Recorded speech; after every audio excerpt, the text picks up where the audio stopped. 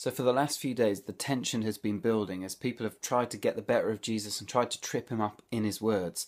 And today, he goes for it. Like, he unloads, doesn't he? And this is where you see what a controversial person Jesus is and must have been at the time when he was walking around on the earth. There's a reason that they wanted to kill him. And this is part of it. This shows us that he wasn't afraid to call out the things that he saw that were wrong in, in the religion and the way in which uh, the Jews were kind of operating and, and relating to the Lord. And so he does, he, go, he goes for it. And this is a reminder for all of us, as we're his people, we've got to remember some of these things. I mean, he doesn't pull his punches. He calls them, you know, a brood of vipers. He says you, you're like a tomb that looks nice on the outside, but inside you're like a rotting corpse. He says you're a son of hell to them.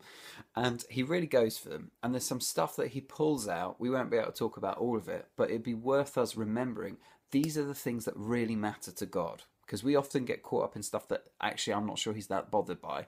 These are the things that really matter. What's going on on the inside? What's going on in your heart? What's going on inside where no one else can see? Because we spend so much time trying to look good, don't we, to everybody? I know we do because I do it.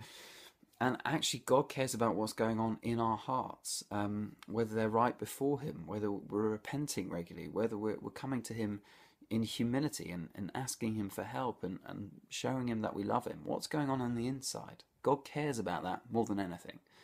Another thing He cares about is that we make an effort to welcome people into a relationship with Him and that we don't put lots of baggage on them that actually isn't from the Lord. And sometimes at the church we can be the worst at this because we expect people to, you know, to do things the way that we do things and, and to to just come and fit in with us. And actually, Jesus here is clearly saying, don't put any obstacles or any hoops up to people coming to know God.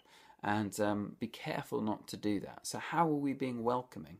How are we making sure that we're, we're, we're focusing on other people feeling comfortable as opposed to trying to make sure that they fit in with what we think they should be doing? Be wary about that. Another thing uh, that we see Jesus cares about really is the poor. Uh, there's this this whole thing about how look you, you're tithing your herbs, but you're not caring about mercy and justice. And you should. It's not that you shouldn't stop doing that, but you should do that. But just remember the things that really really matter. And again, for us, remember what God seems to care about. It comes through so clearly in the pages of the Bible. Is He cares about those who no one else seems to, those who are broken, those who are lost, those who are hurting. Is that reflected in the way in which we live? Jesus is incredibly controversial, but actually, when you stop and think about the things that he says, it's like, do you know what? Yeah, you're right.